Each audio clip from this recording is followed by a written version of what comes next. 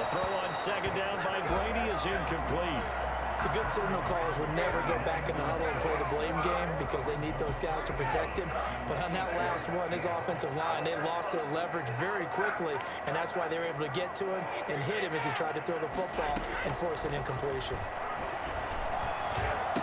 Give me that. Into heavy traffic, and it's intercepted. Picked off Byron Jones.